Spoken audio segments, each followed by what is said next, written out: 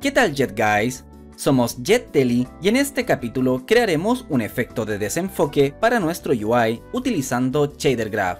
Quédate hasta el final y averigua cómo generar este efecto muy útil y optimizado para móviles. Además, entregaremos los resultados del concurso Soy un Jet Guy.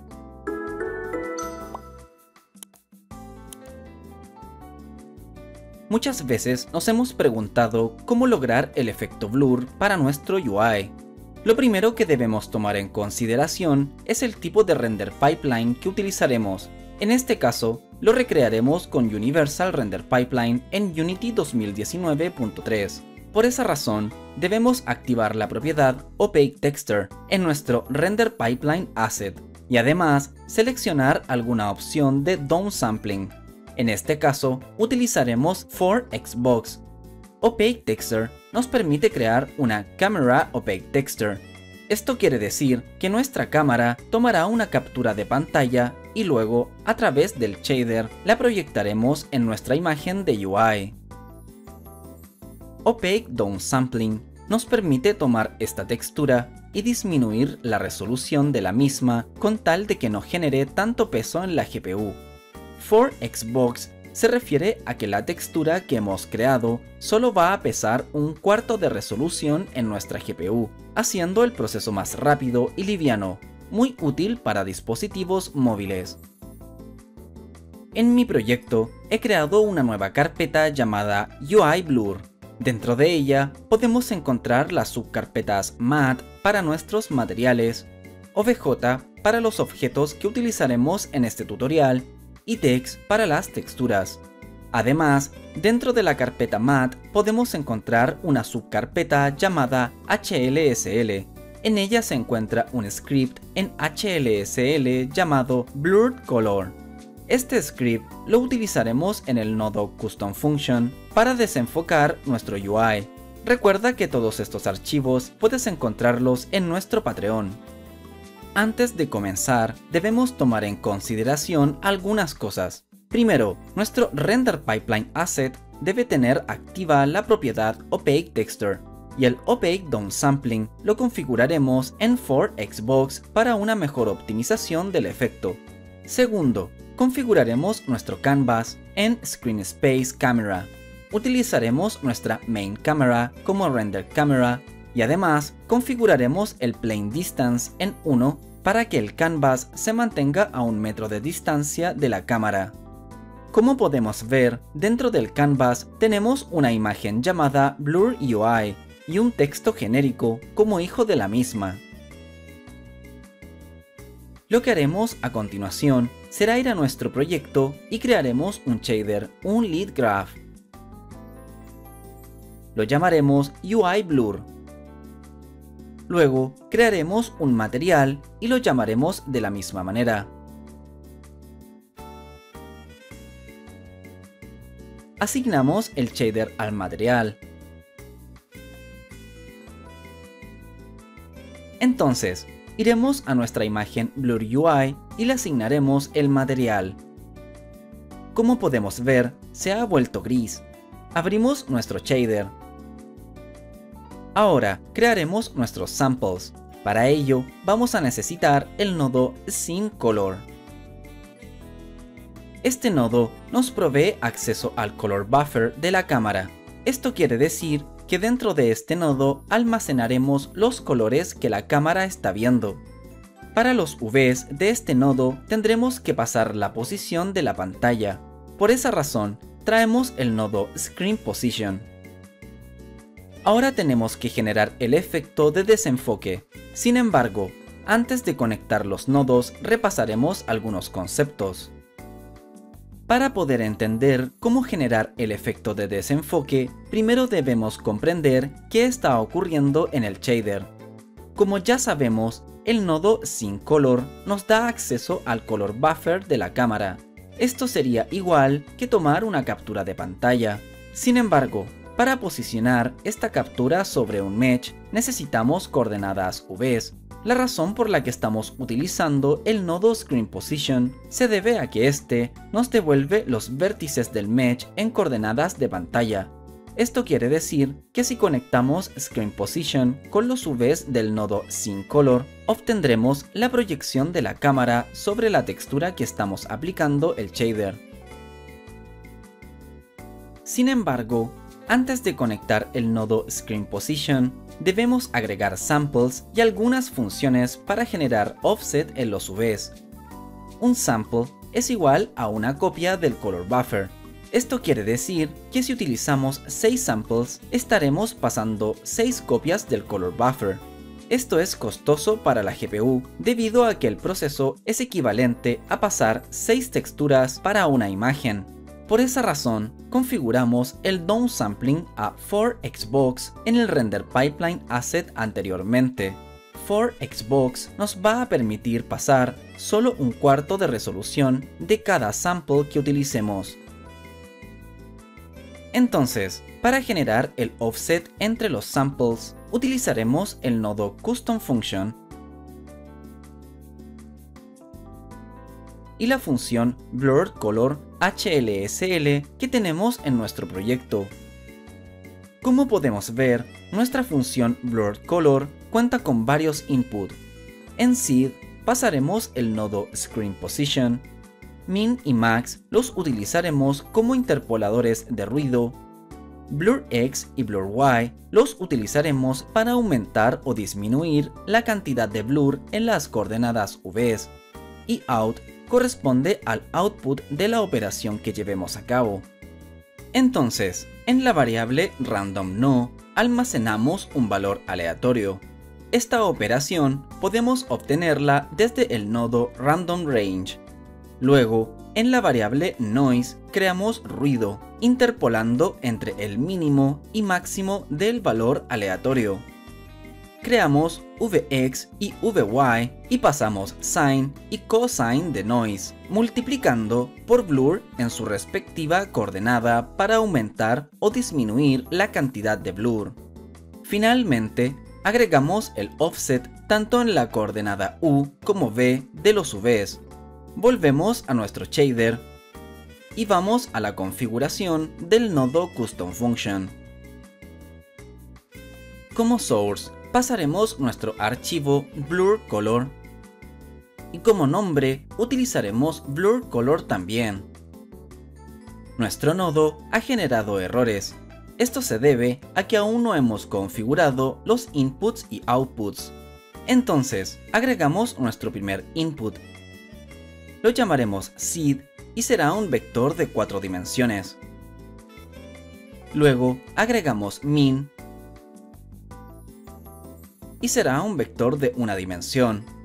Agregamos max y será un vector de una dimensión también. Luego agregamos blur x y blur y que son vectores de una dimensión. Y finalmente agregamos nuestro output. Lo llamaremos out y será un vector de cuatro dimensiones. Ahora sí, nuestro nodo está compilando perfectamente conectamos el output con los UVs del sin color. Estos dos nodos juntos corresponden a un sample.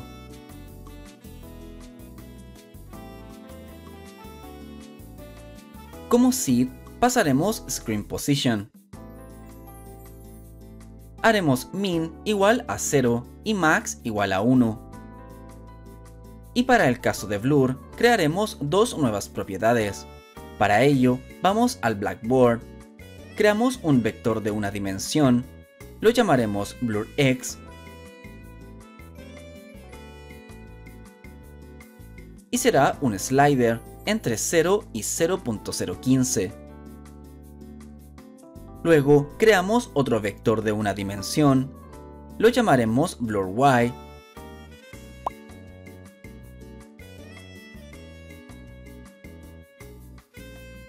también será un slider entre 0 y 0.015. Arrastramos ambas propiedades al área de nodos. Conectamos BlurX con BlurX y BlurY con BlurY. Luego conectamos el output del color con el color del UnLead Master. y hacemos la superficie de este transparente. Guardamos y vamos a nuestro material. Si modificamos el valor de las propiedades, notaremos que se genera un offset con ruido en la imagen. El ruido va a ayudar a que el efecto de blur se vea mejor estéticamente.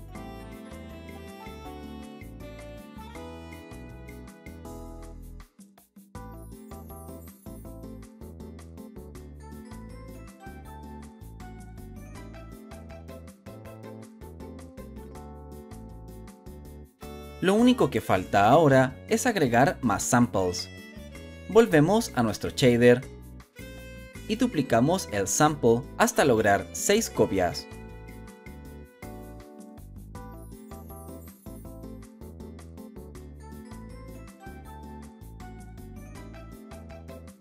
Pasaremos el nodo Screen Position para cada seed en los distintos samples.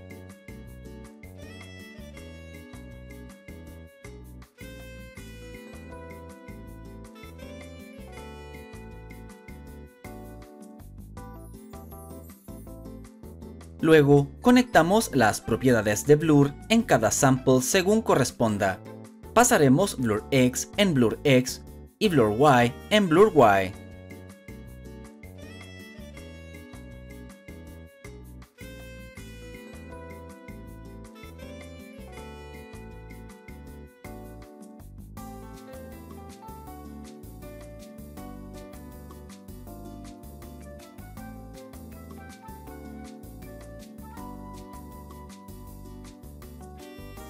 Ahora generaremos una pequeña variación en el ruido de cada sample.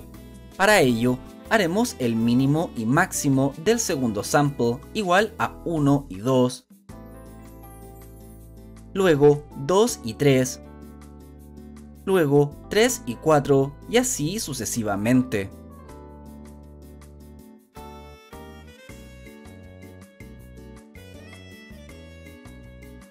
Ya tenemos listo el efecto blur. Ahora debemos conectarlo. Para ello, simplemente sumamos los nodos en pares y luego volvemos a sumar hasta que todos queden perfectamente conectados.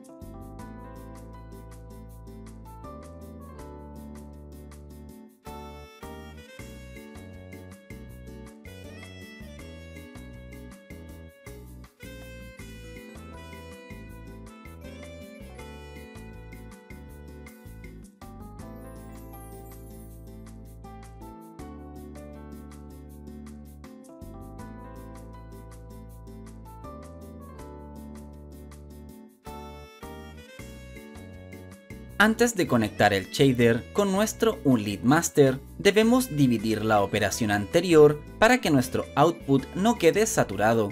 Por esa razón, traemos un nodo divide y un vector de una dimensión. Conectamos la operación anterior como primer input y el vector como segundo. Luego, dividimos por la cantidad de samples en el shader. En este caso, estamos utilizando 6, conectamos el resultado con el color del Unlit Master y guardamos. Como podemos ver, ahora nuestra imagen se desenfoca perfectamente. Nuestro shader está listo. Apóyanos en Patreon y obtén los archivos de este tutorial. Además, podrás descargar un pequeño script que corrige la proporción de píxeles en relación a la pantalla.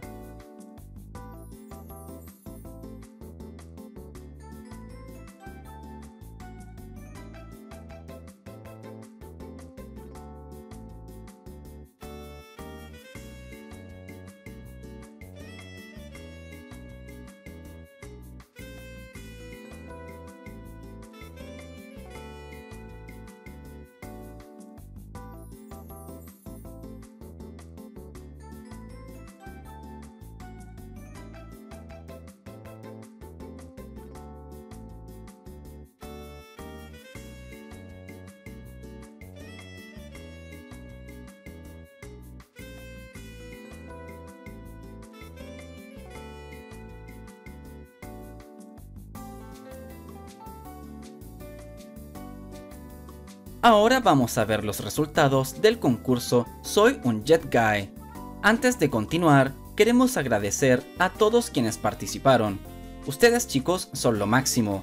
Sus comentarios han sido realmente inspiradores para nosotros y por esa razón continuaremos entregando todo nuestro apoyo para ustedes.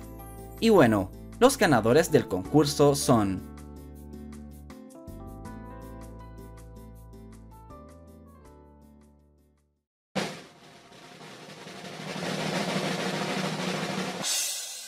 Ever Alan Márquez, Daniel Awaxin y Ugora64. Felicidades a los ganadores. Pronto tendremos más concursos y promociones. Muchas gracias a todos por haber participado. Jet te desea éxito en tu desarrollo profesional.